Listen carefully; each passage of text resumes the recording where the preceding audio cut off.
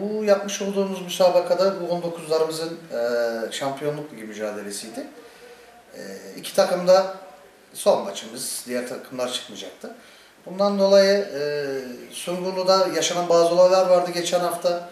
E, maalesef e, diğer kulüplerimizin hocaları, futbolcuları çok e, malum bir şekilde e, sıkıntı oldu. E, aynı olaylar cereyan etti açıkçası. 2-1 biz öne geçtikten sonra çünkü bize 2-1 galibiyet yetiyordu.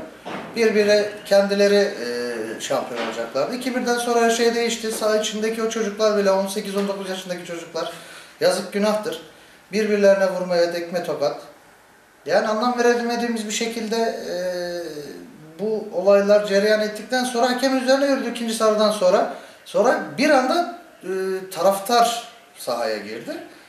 E, burada sadece amaç e, bir futbol. 18-19 yaşındaki çocuklara bir eğitmeye çalışıyoruz. Ama ne hikmetse e, ikidir. Sungurlu da bunu yaşayan takımlarımızın biri de İllüzyon idaremizde ve takımlarını çektiler sahadan. Bizim amacımız burada sadece futbola hizmet etmek.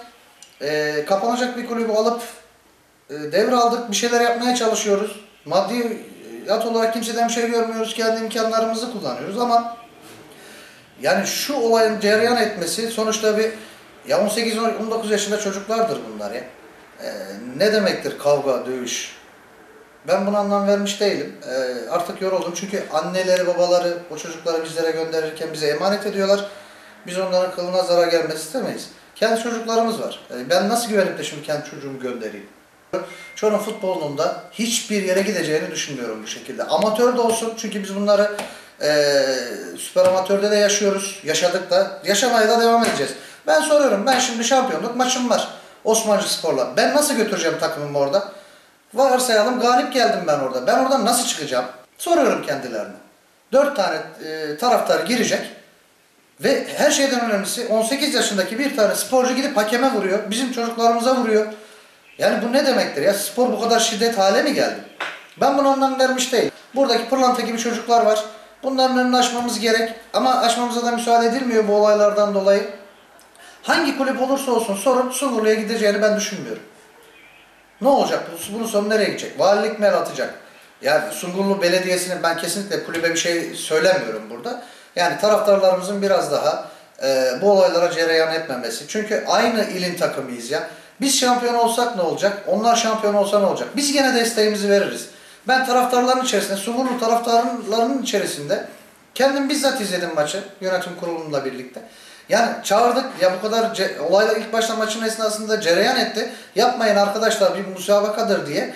Bunları biz kendimiz oturup konuştuk ve ne hikmetse tabii ki o zaman biz mağluptuk 1-0. 2-1 öne geçince ortalık bir anda e, buna döndü. Yani ne konuştuk biz neler yapılıyor. Onu da geçtik. Çocuklar iyi niyetli e, mücadele etmeye çalışıyorlar. Ama ne hikmetse yani bir tane agresif olacaktı. O da altı numaralı arkadaşımız oldu. Onun için de bir talihsizliktir bu. Ha, Çorum futbolunun ileriye gitmesini istiyorlarsa bu şekilde gitmez. Ve kimse de e, kendi adıma da söylüyorum. Kimse de bu şekilde e, yatırım da yapmaz. Çocuklarla da ilgilenmez. Benim diyeceğim bunlardan ibaret. Benim tepkim taraftarı. Ne demektir ya taraftar benim kulübeme gelecek. Benim pardon. Benim soyunma odama gelecek. Benim so- çocukları dövecek orada ya. Emniyet gücü olmasaydı ne yapacaktık? Linç mi olaydı? Bir yerimiz mi patlasaydı? Çocukları hastanelik mi etseydik? Bu ne demektir? Ben, ben bunun soruların cevabını istiyorum.